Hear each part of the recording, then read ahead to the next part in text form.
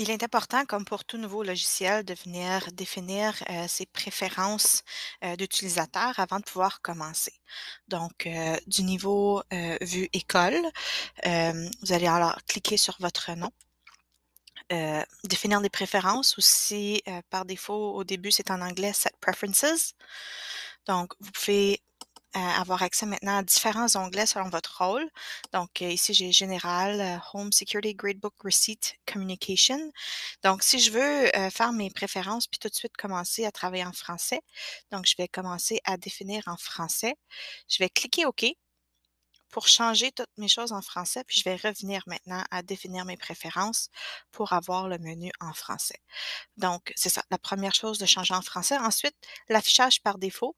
Donc, euh, encore une fois, dépendamment de votre rôle, peut-être que vous avez juste un choix, peut-être que vous en avez plusieurs.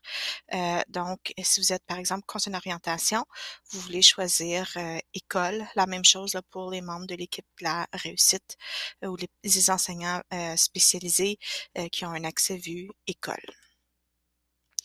Ensuite, votre école par défaut. Donc, encore une fois, si vous enseignez à plus d'une école, c'est possible que vous ayez plus qu'un choix. Euh, ici, c'est de choisir l'école pour laquelle vous voulez euh, que le logiciel se, se log par défaut euh, quand vous vous connectez. Euh, ensuite, intervalle d'enregistrement automatique. Donc, ici, les gens choisissent d'habitude entre 5 ou 10 minutes euh, selon votre préférence. Euh, désactiver l'aide définie par l'utilisateur. Ici, on recommande de laisser euh, décocher. Euh, option de la liste, fait que les enregistrements par page, donc c'est lorsqu'on a une liste dans Spin, on peut voir le, nombre d'élèves, soit 25, 30, 40, 50 par page. Donc, pour les grosses écoles, on suggère peut-être d'aller au maximum qui est 50 par page. Montrer les contrôles en bas de page, donc on suggère de cocher oui et avertir lors de l'enregistrement, donc cocher oui. Ce que ça fait, c'est entre autres quand on a des grandes listes, le, les menus d'en haut se retrouvent aussi au bas de page ou euh, aussi quand on va sauvegarder ou euh, effacer quelque chose, souvent on vous demande êtes-vous certain que vous voulez faire cette action?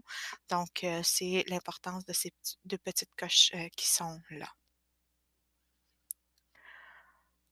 Ensuite, l'onglet Accueil. Donc, l'onglet Accueil, c'est vraiment euh, ce qui permet de définir tous les widgets qui vont être disponibles pour personnaliser votre page d'accueil. Donc, on suggère de tout cocher et euh, ça devrait euh, bien aller.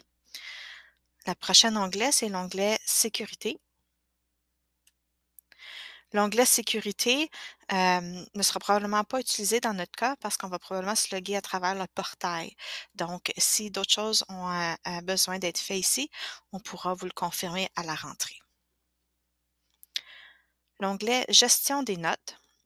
Donc, l'onglet Gestion des notes euh, est pour euh, aider à définir le, carnet de notes euh, quand c'est le temps de faire les bulletins, entre autres. Puis, il y a certaines tâches qu'on fait aussi au niveau conseil et au niveau école. Donc, tous, les, tous les utilisateurs ont une petite gestion à faire ici, mais c'est surtout au niveau de du visuel quand on est dans, cette section-là. Donc, est-ce que je veux ombrager une ligne sur deux? Euh, est-ce que je veux avoir un suivi des mises à jour de l'administrateur? Donc, euh, si toi, tu rentres quelque chose, puis quelqu'un va changer ce que tu as rentré, est-ce que tu veux voir euh, ces changements-là? La direction de tabulation fait que si tu es quelqu'un qui aime beaucoup utiliser le, le table sur ton clavier, est-ce que tu veux qu'il aille de haut en bas ou de gauche à droite, donc à travers? Puis, montrer les études, on laisse cocher pour l'instant. La section reçue euh, va probablement être cachée euh, parce que nous, on utilise CoCache Online, mais il y a un module qui existe aussi avec Aspin là, pour faire des, des achats. Euh, donc, on laisse vide si elle est encore là. Et la section communication, euh, encore une fois, il n'y a pas vraiment rien à faire ici. Euh, si vous utilisez le forum euh, dans certains des widgets, c'est possible d'utiliser le forum. Vous pourriez dire, ah, je vais afficher cinq, cinq choses par page. Euh, puis aussi, éventuellement, le conseil va pouvoir aller activer là, nos, nos comptes Google avec euh, l'intégration d'Aspin. Donc, à ce moment-là, soit ça devrait déjà apparaître ou vous allez pouvoir cliquer Ajouter l'accès à Google, mais selon moi, ça va être déjà fait pour nous. Mais on doit attendre qu'on soit dans notre plateforme live pour euh, ces types de préférences-là. Donc, vous cliquez sur OK. Et cela a défini vos préférences de base. Vous pouvez maintenant commencer vos suivis.